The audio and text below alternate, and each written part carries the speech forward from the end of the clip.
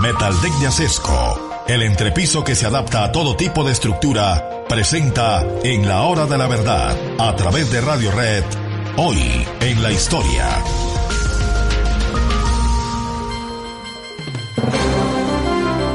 Año de 1814, un día como hoy en la historia, uno de los días más trágicos y más dolorosos en la vida del libertador Simón Bolívar. Bolívar, con el apoyo del gobierno de la Nueva Granada, de don Camilo Torres, había recaudado o reclutado tropas en Colombia, especialmente en Monpós, había marchado sobre los llanos de Cúcuta, se había reunido con Santander.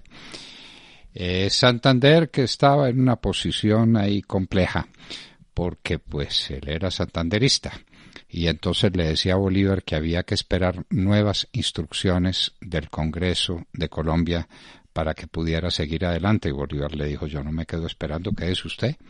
Y lo dejó esperando en la grita. Ahí empiezan las diferencias de criterio y de opinión entre Bolívar y Santander. Pero bueno, no ese es el tema. Bolívar sigue su ruta hacia Caracas. Era lo que tenía que hacer, enfrentar a Monteverde, enfrentar a sus tropas y las enfrenta y las derrota sucesivamente y sigue su camino victorioso hacia Caracas. Allá lo reciben como un padre, como un libertador, le hacen demostraciones entrañables de afecto y Venezuela está prácticamente liberada de las fuerzas españolas. Pero, ¿qué aparece en el horizonte? El fantasma, el estigma, ambas cosas lo son, de la desunión, de las envidias, de las rencillas internas. Y vienen momentos tan dolorosos como el de Piar, que se le enfrenta en últimas a Bolívar sin enfrentársele a Bolívar, pero sí a las órdenes que Bolívar está dando para que se mantenga la unidad, para que no se le abra espacio a la reacción española en Venezuela y tiene que fusilar a Piar.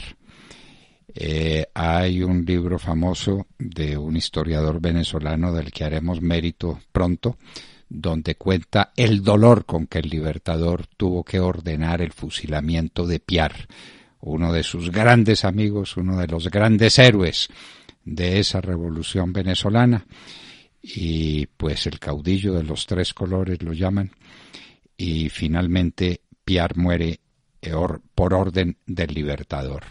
Pero Mariño también se ha sublevado en el oriente, y la sublevación de Piar y la sublevación de Mariño produce un desconcierto enorme que tiene como efecto lo que Bolívar temía, la reacción hispánica promovida por Morales, pero sobre todo por Boves, que va llenando de terror y de horror los campos y las ciudades de Venezuela y Bolívar queda abandonado, liberado a su suerte, y hay que abandonar la ciudad de Caracas.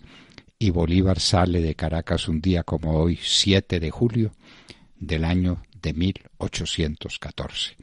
El alma transida de dolor, vencido, derrotado, no por obra de los españoles, no, por obra de sus amigos, por obra de los que se dividieron, por obra de los que llenos de envidia, de recelos entre ellos, desatendieron sus, eh, órdenes, distrajeron las fuerzas de la República, las dividieron y por la mitad del camino penetraron los reaccionarios españoles, alentados por la voz de muchos curas que desde los púlpitos trinaban contra el delito de lesa majestad contra su majestad el rey y que le exigían obediencia y, cuidado a las fuerzas españolas que comandadas por Boves estaban cometiendo todas las atrocidades.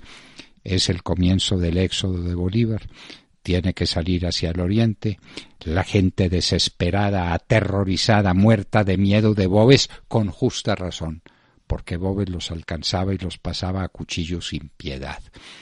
Terminaría Bolívar huyendo hacia la Nueva Granada, presentándose vencido ante Camilo Torres, que le dijo Podéis ser un general desgraciado, pero sois un grande hombre.